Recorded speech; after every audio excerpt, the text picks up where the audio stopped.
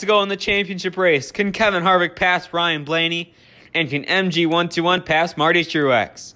Who is going to win the championship? And can Chase Elliott get his first win of the season? Here it is. Oh, Kevin Harvick's in the wall. Blaney locks the car championship. And MG121 edges out Marty Truex to win the account championship. Unbelievable finish. Look at here. There you see Kevin Harvick in the wall, is out of it as Blaney passes Jones, and Logano's up in the air, and Chase Elliott wins the race. A ton going on there.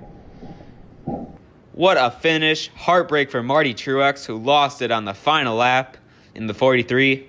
And also heartbreak for Kevin Harvick, who did not finish the race and went in the wall trying to pass Blaney.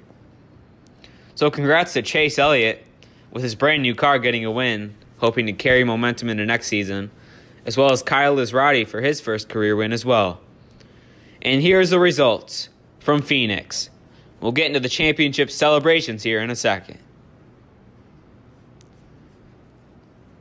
And here's your two champions. MG121 passes Marty Truex on the final lap to get it, and Ryan Blaney holds off Kevin Harvick. MG121 wins his second Ramp Racing Championship in a row, and Blaney gets his first career championship. Great job to these two.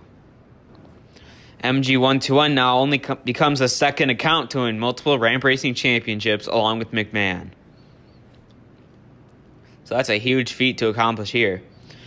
So the link to his channel will be in the comments along with some other links. And I would like to thank all of you for signing up for season 7. It was an incredible season and we're up to 94 different winners in ramp racing, hoping to get 100 next season. And speaking of next season, we'll have many new cars, new drivers, and new tracks. So we're looking forward to that. This is N4L signing off. Congrats to MG121 and Ryan Blaney on their Ramp Racing Championships. We'll see you next season.